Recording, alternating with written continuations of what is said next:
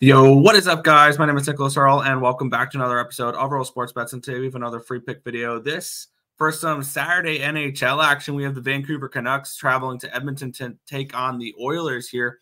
Oilers two minus 200 favorites, total seven in this game. We have our first seven of the season, and it's much understood why this is a seven. Am I playing the total? No.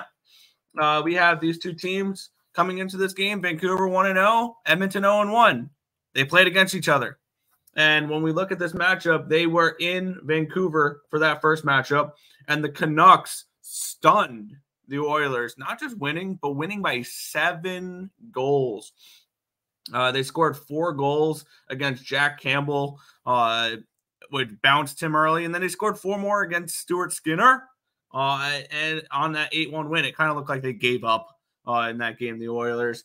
Uh, and and now they get now the Oilers get to flip the script here. It's their home opener.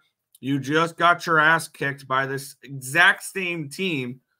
So I knew exactly what I was going to be doing with this game when I saw that game go down.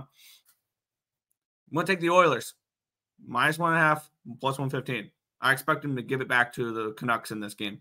Uh, now, if this last game was 4 3 Vancouver, maybe I'm not as enthused as making this play and laying the one and a half because I I don't like laying puck lines. Uh, I'm not. I, I I try not to do the full one and a half. If I can, I'll take the minus one. Minus one for this one's like minus one forty.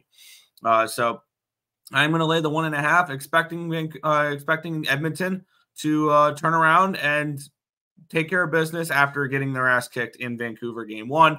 So gonna go ahead, grab the Oilers minus one and a half plus 115 if you want to take McDavid props, Draisaitl props, things, things along those lines. I have no problem with the, these those either. Uh, but I'm going to go ahead and lay the puck line with Edmonton against the Canucks. If this information was helpful to you guys at all, feel free to hit that thumbs up button and subscribe to the channel if you guys have not already.